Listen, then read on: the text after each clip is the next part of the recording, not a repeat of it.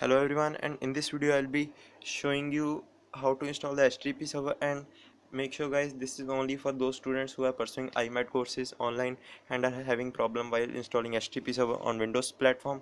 And I'll show you how, how you guys can install the HTTP server on the Windows platform. And let me show you guys. First go to the link of IMAD course page. Then just go to the lecture. And it was in the practical running your own web server lecture. Let it open.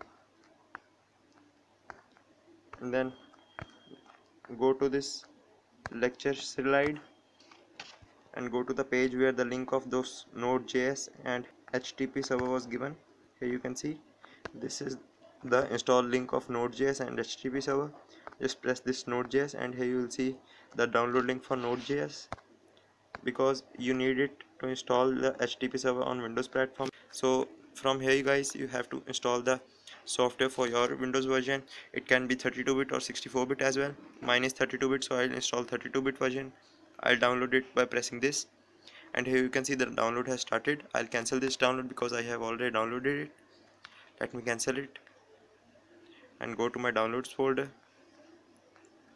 Let me scroll up here you can see I have already downloaded it. Let's install this. Just press the run button. Then next on all the screens you get. Let me zoom in.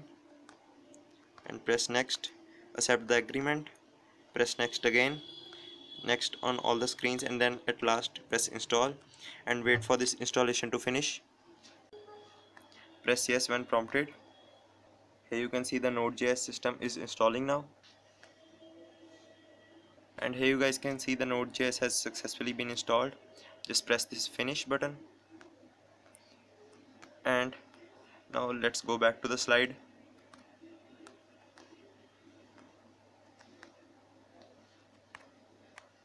And now guys you have to open this http server link. Press this link over here.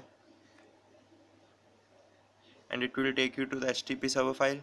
And now before doing this I'll tell you guys when you have to open the command prompt to copy that statement make sure you don't have any previously typed commands. You if you have any previously typed commands just close this from this cross button and then open it again. If you have any previous commands make sure you have empty screen before you type this command.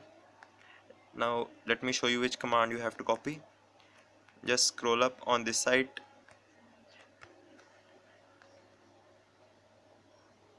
and copy this command.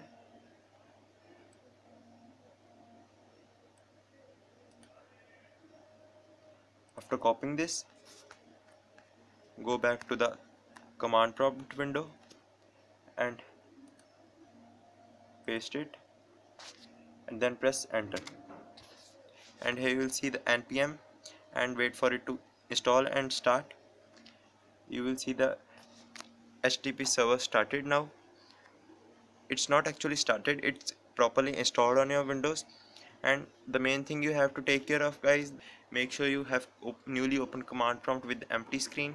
And from here guys you write the http server command and press enter. Here you can see the http server has started now. The ip address is this one. You can even go to the browser open up the new window and just type localhost colon 8080 and then press enter. And here you guys can see this is the localhost which we just started using the HTTP server. Here you can see my aman folder has opened over here. And this was a video on how to install the HTTP server properly on your Windows platform. If this video helped you guys please press the like button below. And if your friends are facing the same problem of installing HTTP server do share this video to those friends. And I hope this video helped you guys. And thank you for watching this video